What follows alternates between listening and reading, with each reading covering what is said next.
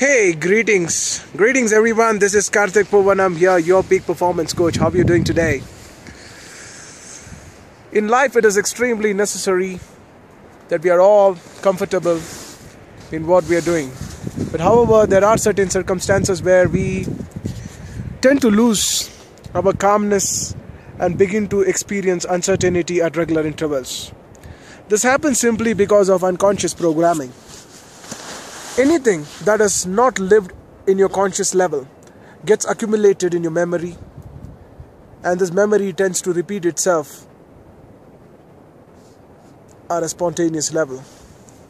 When this memory starts unwinding itself, you will begin to experience an outcome which may be in your favor or may not be in your favor. It's like a kind of a command which you have done according to the command you will be getting a certain output isn't it so if you give the right kind of command you get the specified kind of output.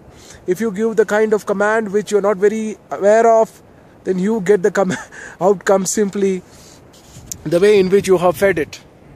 So essentially what you're calling as your body is nothing but an input system where you can take anything that you want inside in the form of images in the form of uh, sentences sounds and then give it a meaning and then it starts Mm, fueling itself and then it starts repeating itself. This has to be understood in a total manner and only then will you be able to understand it its full depth and dimension. Stay tuned and stay blessed